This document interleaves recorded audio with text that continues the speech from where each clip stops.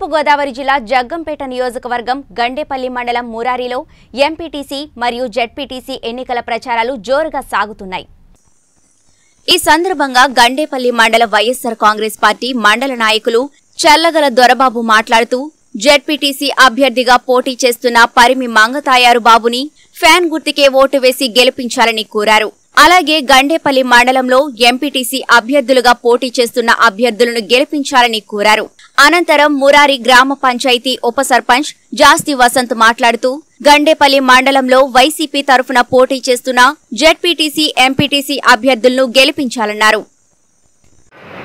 రేపు ఎనిమిదో తారీఖున గండేపల్లి మండల ప్రజా పరిషత్తు మరియు జిల్లా ప్రజా పరిషత్కు జరగబో స్థానిక సంస్థల ఎన్నికల్లో పోటీ చేస్తున్న మేము అంటే మన వైఎస్ఆర్ జగ జగన్మోహన్ రెడ్డి గారి సారథ్యంలో వైఎస్ఆర్ కాంగ్రెస్ పార్టీ తరఫు నుంచి అట్లాగే మన జ్యో జ్యోతుల శంకరబాబు ఆశీస్సులతో గండేపల్లి మండలంలో గండేపల్లి ఎంపీపీ అభ్యర్థిగా నేను పోటీ చేస్తున్నాను.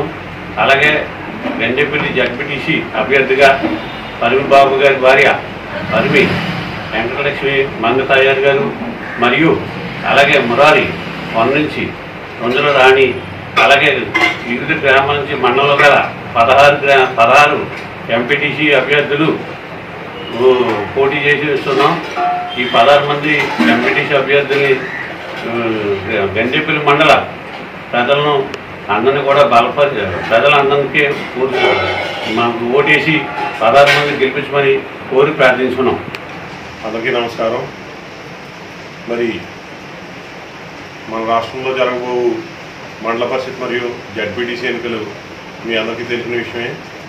గత ఏడాది ఇదే రోజుల్లో మనం నామినేషన్లు కూడా వేయడం జరిగింది. కరోనా దృష్ట్యా వీటిని అప్పుడు ఎలక్షన్లు సడన్గా ఆఫ్ చేయడం వాటిని కంటిన్యూస్ ప్రాసెస్లో ఇప్పుడు కొత్త సిఎస్ ఈసీ గారు మనకి ఈ ఎలక్షన్ మళ్ళీ నోటిఫికేషన్ ఇవ్వడం జరిగింది. మన మండలం గండేపల్లి మండలం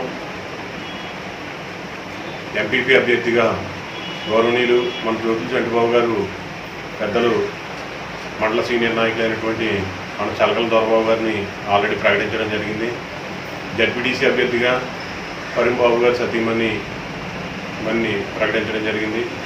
అదేవిధంగా మన గండేపల్లి మండలంలో పద్దెనిమిది గ్రామాల్లోనూ పదహారు ఎంపీటీసీలుగాను మా పార్టీ యొక్క వైఎస్ఆర్సీపీ పార్టీ యొక్క ముఖ్య నాయకులు అందరూ కూడా ఆయా ఆయా గ్రామాల్లో అభ్యర్థులు పదహారు మంది అభ్యర్థులు కూడా పోటీ చేయడం జరుగుతూ ఉంది.